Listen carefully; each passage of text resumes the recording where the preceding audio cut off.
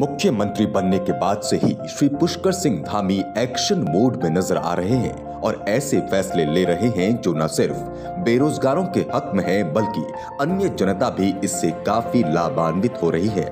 मुख्यमंत्री बनते ही जो सबसे बड़ा और अहम फैसला श्री पुष्कर धामी ने लिया, वो था गेस्ट अध्यापकों की सैलरी को बढ़ाना, जहाँ पहले गेस्ट अध्यापकों को मात्र पंद्रह हज़ार रूपए सैलरी मिलती थी। वहीं अब ये सैलरी पंद्रह से बढ़ाकर पच्चीस हज़ार कर दी गई है, जिससे गेस्ट अध्यापकों में काफ़ी उत्साह देखने को मिला।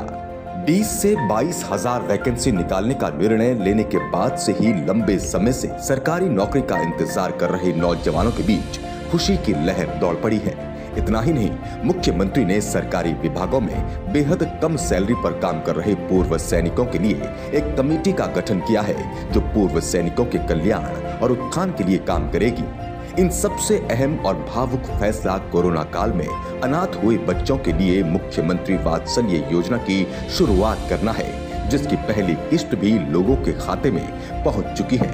21 साल की उम्र तक हर महीने तीन हज़ार रूपए अनाथ बच्चों के खाते में डालना और उनकी शिक्षा की ज़िम्मेदारी उठाना श्री पुष्कर सिंह धामी की संवेदनशीलता को दर्शाता है। अभी हाल ही में मुख्यमंत्री ने भूकंप की पूर्व चेतावनी और क्षतिग्रस्त जगहों पर फंसे लोगों की लोकेशन को ट्रेस करने के लिए उत्तराखंड भूकंप ऐप को भी लॉन्च किया है, जिसकी वजह से लोगों को तत्काल मदद उपलब्ध हो सकेगी।